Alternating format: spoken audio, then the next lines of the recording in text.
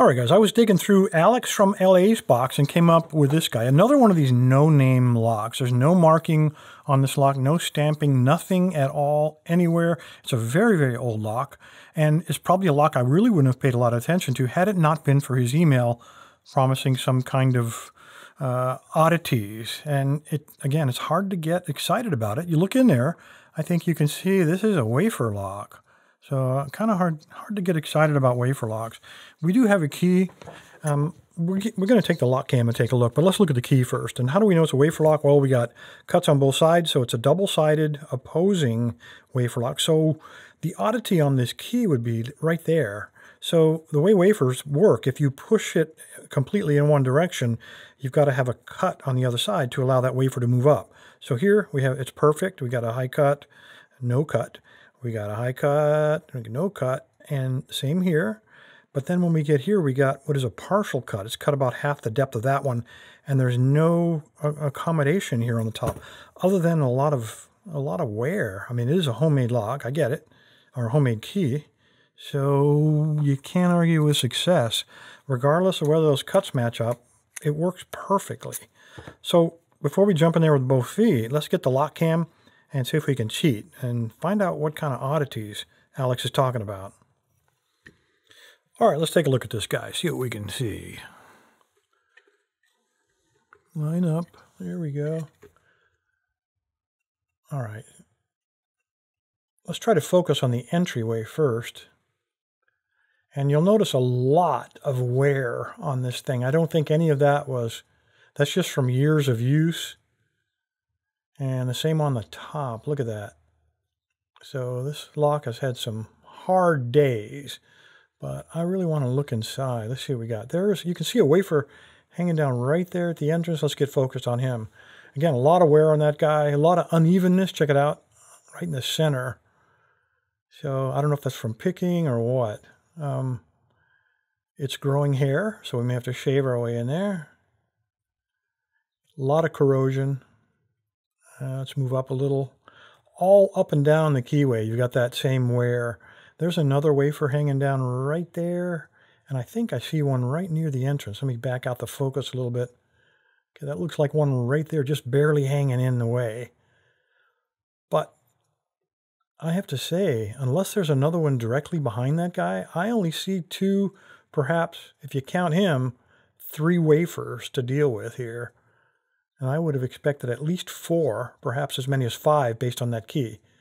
So I got to say, other than learning that we needed to shave the inside of the lock here, I'm not sure we learned a lot. So let's go ahead and pick it. Try to pick it. Um, it is a very wide keyway, so let's see if I can find that really fat one. He ought to fit. Yep. Okay, so let's, oops, maybe not. I mean, it's so worn, he just kind of rolled out of there. All right, let's put him just like that. And find a pick. A wide open keyway. I'm going to use a, you could use a 50, you could use a 75,000 width pick on, on this. All I have is a 25. So we'll go with this guy. All right, so let's start with moderate tension. I'm going to go all the way back.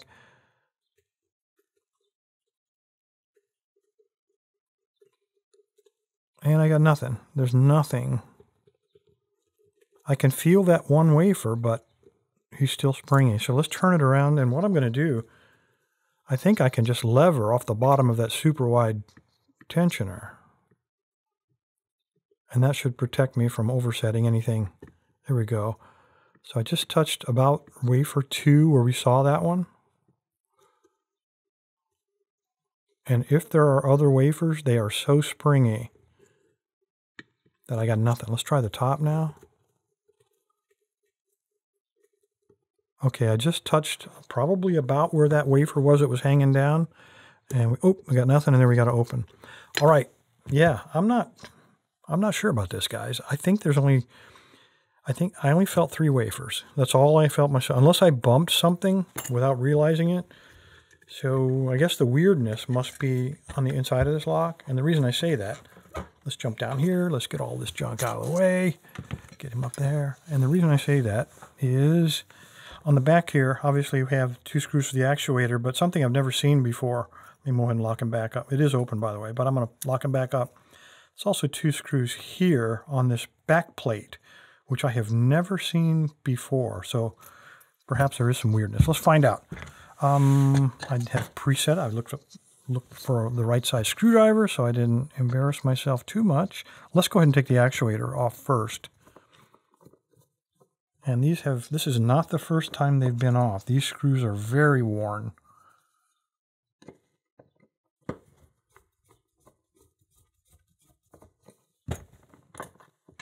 All right, we may not need to take that back plate off. That is a huge, that is a huge core. I'm not sure. I don't. I can tell you for sure. Again, I do not have a large enough follower. That's really unusual. But let's do it old school way. I'm going to turn it like that so the wafers are oriented at the same axis as the key. And let's just slide this dude out, thus guaranteeing another gutting disaster. Okay, I got nothing. It is not coming out. All right, so let's lock him back up. And let's take the back plate off. Yeah, this is something's going to jump out of here. I know it.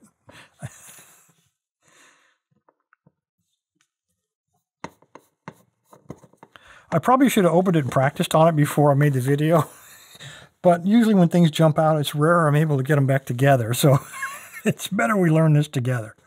All right, let's take this back plate off. All right, so looking at the size of this guy, there's no way he can come out that small entrance way. So he's got to come out backwards of what we're used to, which means a follower really wouldn't have done us any good since that's a small diameter hole. Let's go ahead. Um,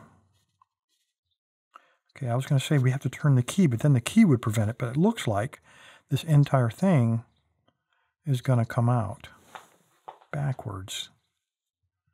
Oh boy, here we go. Make sure everything's focused so when it does shoot out, I'll at least have some evidence. All right, I'm seeing some pins over here on the side that are starting to pop out. Put my fingers so they don't launch too far. Let me flip it around here. Okay, those are all tra uh, trapped wafers, it looks like. The only jumpy part, I think, is the are these pins. You can see them right under my finger there.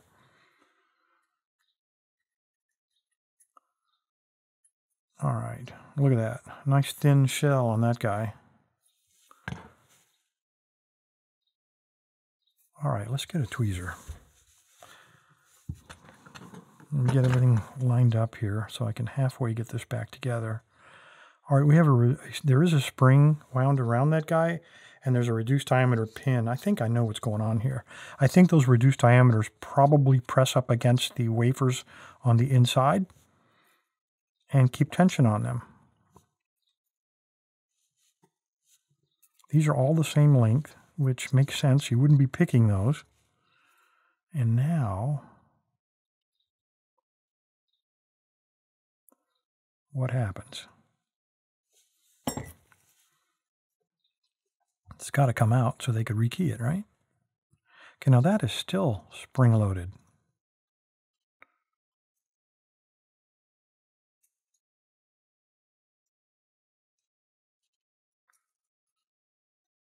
I'm at a loss. That is definitely spring-loaded on that side. So what happens if I push that down and then push it out? Nothing. Man, they have to come out of there.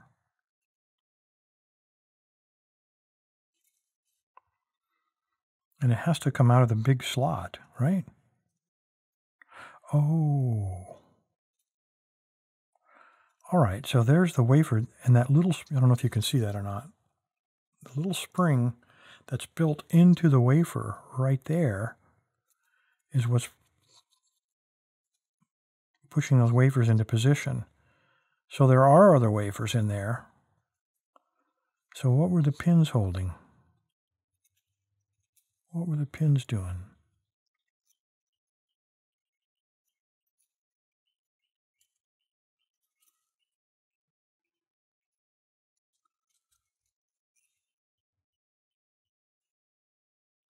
I really am at a loss here. I don't know what to do. I don't want to break anything because I don't have parts to repair it. So I'm wondering if it comes out this way. No. That way, no. Compress it, push it out. Nope.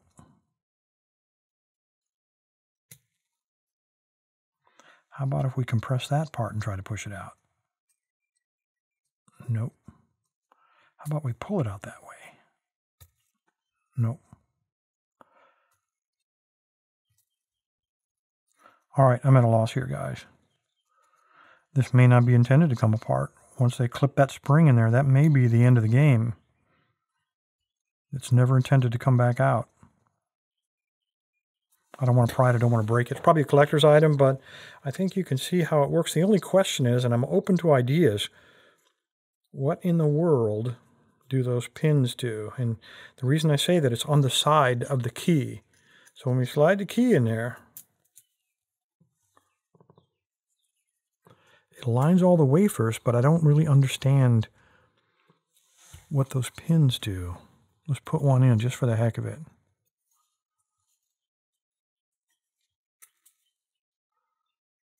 Okay, so when the key is out, the pin can compress all the way in. When the key is in, all the way in, if I've got that in there right, that was the bottom. All right. So if the pin is not all the way in, that pin cannot compress. When the key is all the way in correctly and the wafer is aligned, that will compress and allow it to turn. And, didn't even notice it before, there's a groove here for those pins to fit in. So if the wafers are not picked to the correct height, those pins will not allow the core to rotate because the pins are uh, extending into that groove. Kind of like a sidebar, but they're side pins. I did not even notice them. I just picked it and put pressure on it. It seemed to work. Anyway, enough weirdness. I am not going to break this lock. Instead, I'm going to put it back together as best I can, send it back to Alex. Anyway, guys, appreciate your time, appreciate your patience, and I will also appreciate any comments you have. If you guys have ever seen anything like this before, please put in the comments. And uh, the really good ones, if you have a history on it, I will certainly post it in the description. Thanks, guys.